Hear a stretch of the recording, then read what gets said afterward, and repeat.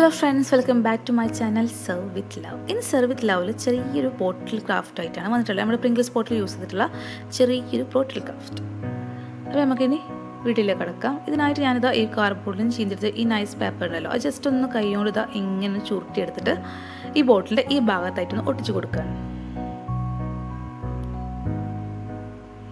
ഇതാ നല്ലവണ്ണം ഒട്ടിയിട്ടുണ്ട്. ഇനി അടുത്തത് നമ്മൾ നേരത്തെ മാറ്റി കാർബോണിന്റെ ആ പീസ് എടുത്തിട്ട് ഈ ഭാഗത്തായിട്ടൊന്ന് ഒട്ടിച്ചു കൊടുക്കാം.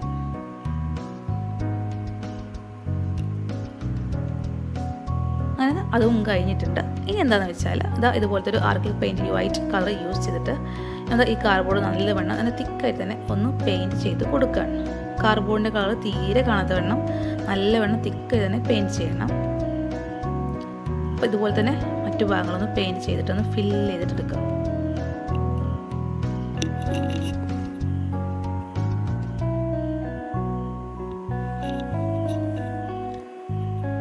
അപ്പോൾ ഇത് ഈ ഭാഗം കഴിഞ്ഞു തുടങ്ങിയിട്ടുണ്ട്. ഇതേപോലെ തന്നെ നമുക്ക് ഈ ബോട്ടിന്റെ മുകൾ ഭാഗം കൂടി ഒന്ന് പെയിന്റ് ചെയ്യണം. അപ്പോൾ അതാ അതും കൂടി കഴിഞ്ഞിട്ടുണ്ട്. ഇതൊന്ന് ഉണങ്ങട്ടെ. അപ്പോൾ നമുക്കിനി ഇത് ഉണങ്ങാൻ നേരം കൊണ്ട് വേറൊരു പണിയും കൂടി ചെയ്യാനുണ്ട്. എന്താണെന്ന് വെച്ചാൽ ചെറിയൊരു കാർബോണിന്റെ ഈ ഒരു ഭാഗം ഒന്ന് കട്ട് ചെയ്തിട്ട് എടുത്തിട്ട് ഇതിന്റെ ഈ താഴെ ഭാഗത്ത് കാണുന്ന ഈ നൈസ് പേപ്പർ ജസ്റ്റ് ഒന്ന് കട്ട് ചെയ്ത് ഒന്ന് കളയാം. അത് ഈ കാർബോണിന്റെ കട്ടി ഒന്ന് കുറയ്ക്കാൻ വേണ്ടിയിട്ടാണ് അങ്ങനെ ചെയ്യുന്നത്. ഇതുപോലത്തെ സ്റ്റോൺ എടുത്തിട്ട് ഈ കാർബോണിന്റെ സെന്റർ ഭാഗത്ത് ഒട്ടിച്ചു കൊടുക്കാം. ഒരു ഇഞ്ച് ഗ്യാപ്പിൽ ഒരു സ്റ്റോണിന്റെ ഒരു ഇഞ്ച് ഗ്യാപ്പിൽ മറ്റ് സ്റ്റോണും കൂടി ഒട്ടിച്ചു കൊടുക്കുകയാണ് ചെയ്യുന്നത്. ഒരു സ്റ്റോൺ ഇട്ടതിന് ശേഷം ആ സ്റ്റോണിൽ നിന്ന് ഒരു ഇഞ്ച് ഗ്യാപ്പിൽ മറ്റ് സ്റ്റോണുകളും ഒട്ടിച്ചു കൊടുക്കുക അപ്പോൾ അത് അതിവിടെ കഴിഞ്ഞിട്ടുണ്ട്. ഇനി അടുത്തത് black colour acrylic colour use ചെയ്തിട്ട് നമ്മൾ ജസ്റ്റ് ഒന്ന് റഫായിട്ടൊന്ന് പെയിന്റ് ചെയ്ത് കൊടുക്കുക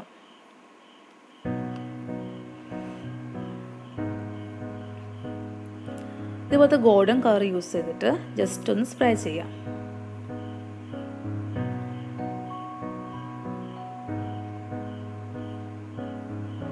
ഇനി അടുത്തത് ഇതിന്റെ മുകളിലൊന്ന് ജസ്റ്റ് ഇത് ഉണങ്ങാൻ വെയിറ്റ് ചെയ്യുന്നു വേണ്ട. ഉണങ്ങുന്നതിന് മുന്നേ ആയിട്ട് തന്നെ അതേ ബ്ലാക്ക് കളർ യൂസ് ചെയ്ത് ജസ്റ്റ് ഒന്ന് ഒന്ന് ജസ്റ്റ് ഒന്ന് ബ്ലാക്ക് കളറിൽ മുക്കിയതിന് ശേഷം ജസ്റ്റ് ഒന്ന് ഇതിങ്ങനെ ഒന്ന് ഒന്ന് ടച്ച് ചെയ്ത് കൊടുക്കുക.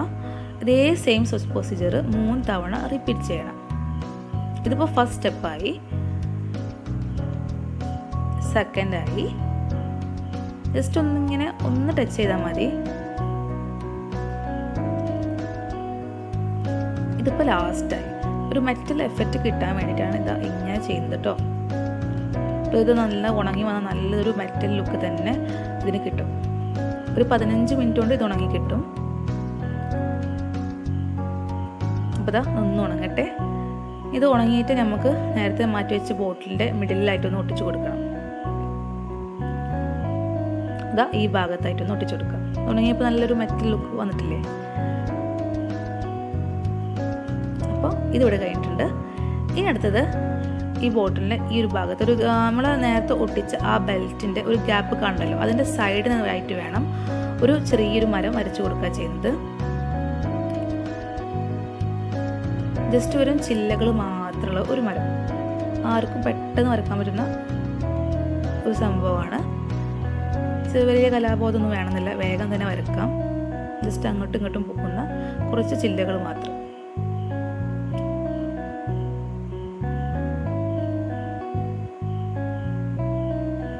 അപ്പോൾ അതാ അതിന്റെ കുഞ്ഞൊരു കുട്ടിമരം കൂടി വരക്കുന്നുണ്ട്. കുറച്ച് കുറച്ച് കുറച്ച് ഒരു ഗ്രാസ് ലുക്ക് പോലെ ജസ്റ്റ് ഒന്ന് വരച്ചു കൊടുക്കുക ചെയ്യുന്നത്. ഇനി നമുക്ക് മരത്തിന്റെ ഉള്ളൊന്ന് ഫില്ലപ്പ് ചെയ്ത് കൊടുക്കാം.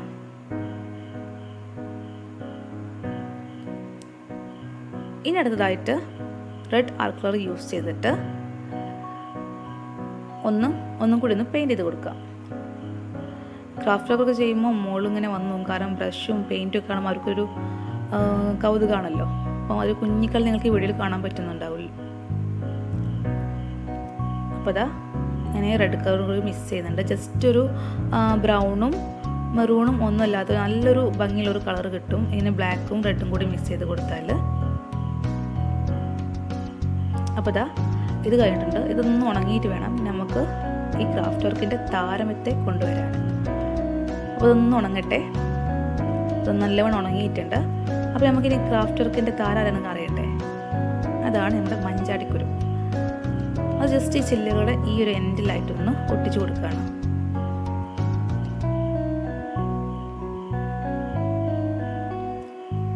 അതാ ഇങ്ങനെ ഗ്യാപ്പ് വിട്ട് ഗ്യാപ്പ് വിട്ട് ഓരോ ചില്ലയുടെ ടിപ്പിലായിട്ടൊന്ന് ഒട്ടിച്ചു കൊടുക്കുക ചെയ്യുന്നത്. ഇത് കഴിഞ്ഞിട്ടുണ്ട്. ഇതേപോലെ തന്നെ ഈ സൈഡും ചെയ്യുന്നുണ്ട്. അതാ ആ ഒരു വർക്ക് കഴിഞ്ഞിട്ടുണ്ട്. ഇനി അടുത്ത് എന്താണെന്ന് വെച്ചാൽ നേരത്തെ ബെൽറ്റിന്റെ ഈ ഒരു ഗ്യാപ്പ് ഉണ്ടല്ലോ ആ ഗ്യാപ്പിലേക്ക് ചെറിയൊരു സംഭവം വേണം. എന്നാൽ ഒരു കുഞ്ഞൊരു ബട്ടർഫ്ലൈനെ കാർബോർഡിൽ നമ്മൾ വരച്ചെടുക്കുക ചെയ്യുന്നത്.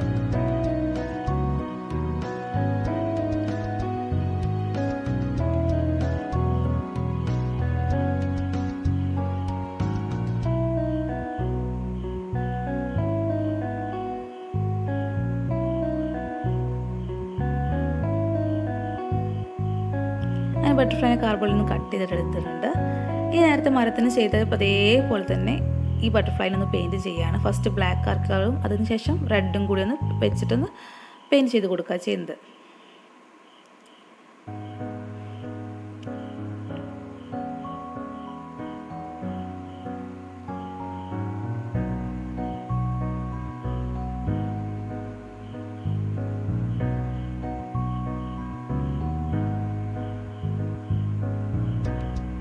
ഇനി ഈ ബട്ടർഫ്ലൈന്റെ ബാക്കിലായിട്ട് ഇതുപോലെ ചെറിയൊരു കാർഡ്ബോർഡ് ഒന്ന് ഒട്ടിച്ചു കൊടുക്കുകയാണ്.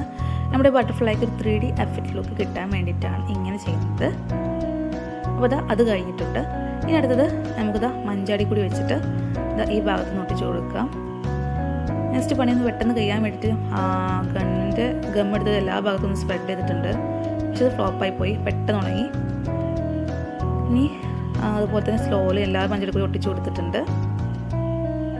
ഇതാ ബട്ടർഫ്ലൈന്റെ കൂടി ഒട്ടിക്കണം പണി ഇവിടെ കഴിഞ്ഞിട്ടുണ്ട്.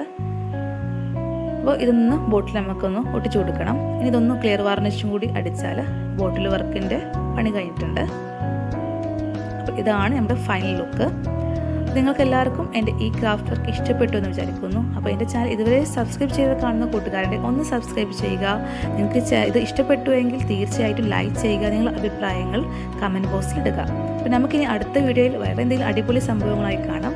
അതുവരേക്കും take care and bye bye